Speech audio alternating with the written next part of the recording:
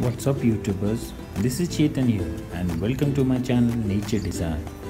Yes, I'm back with a new video and the theme for today's project is Hobbit House Terrarium.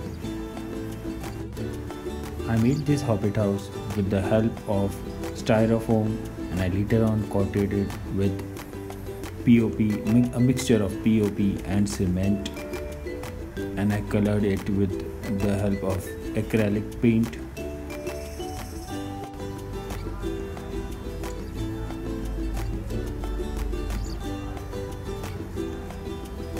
Especially for this project, I have made this tank.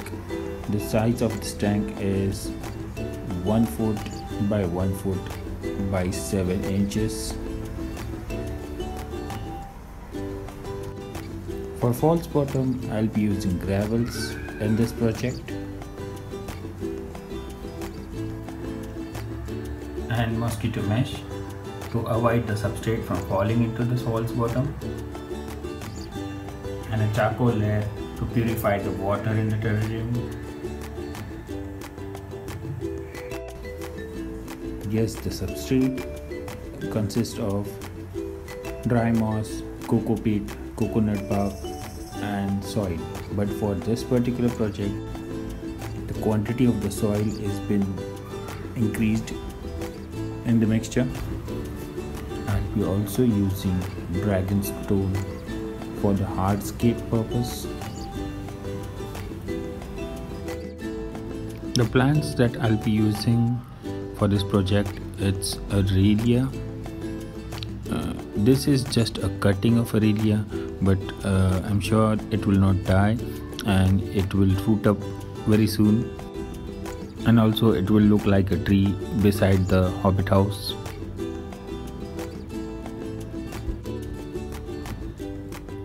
I don't know the name of this plant but this is found out in my area and due to the small size of the leaves I'll be using this in the project. These are the seed box plants which I have used in plenty of my projects but uh, those are really good looking plants and especially the red one I like it so that's the reason I'm using in this project also and of course the moss this will be also the main part part of this project but uh, I really don't know the name of this moss so do let me know if you know it. So let's get started. The bottom layer gravels.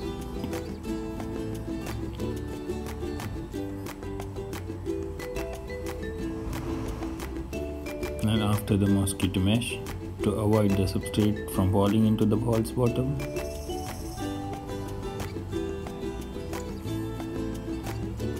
I have very less charcoal uh, so I added the charcoal in the substrate itself. It's okay if you add the charcoal directly in the substrate instead of uh, adding the layer of the charcoal. It works similarly. And about the substrate what I told you before that I have added uh, the quantity of the soil is more in the substrate. The reason for that that I just made the front of this house uh, and uh, it's nothing in the back. So give to give it a 3d look I added more soil so that the soil firmly settles uh, behind the house and give it a structure like it's a real house now you can see that it is taking a shape of a house.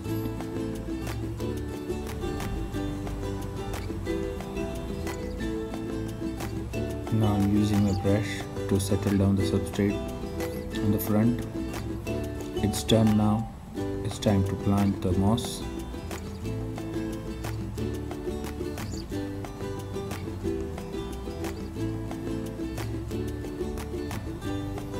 It took me near about 2 hours to collect all this moss front from all over the area.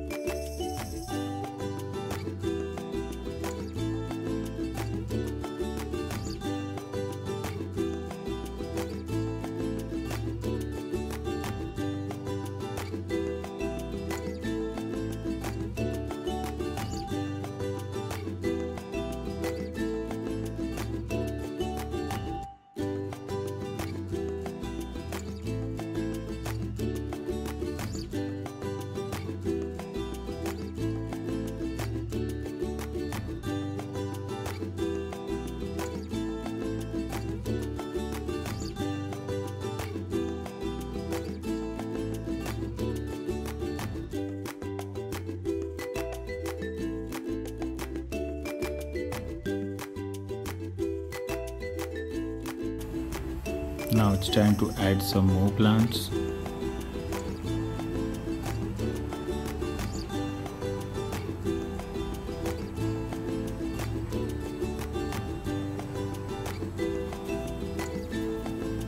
It's really looking good.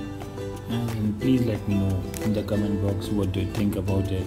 And if you haven't subscribed to my channel please go ahead and hit the subscribe button and don't forget to press the notification bell to keep you updated. The, the videos which are coming up in the future every week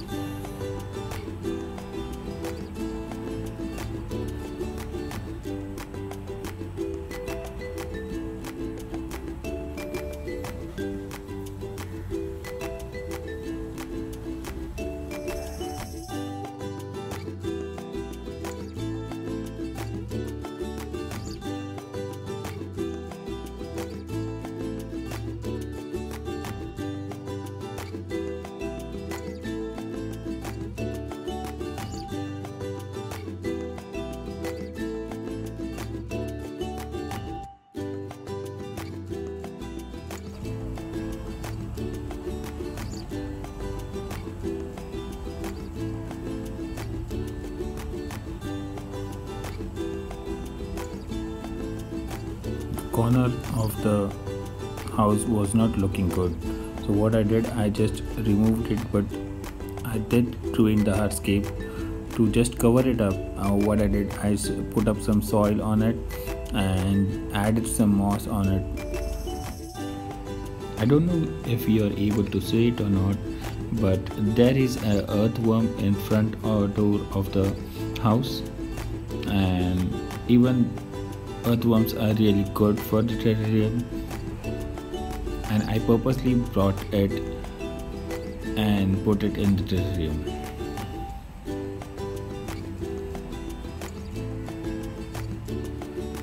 Now it's time to add some springtails. I was unable to film it properly. And one more thing, have made this chimney but I was unable to film the chimney and the stairs which I have made up of slate stone. So please let me know what you think about this in the comment box and if you haven't subscribed to my channel please go ahead and subscribe it because there are plenty of new projects coming up in the future and if you want to know uh, about all the projects and all the videos you need to subscribe to this channel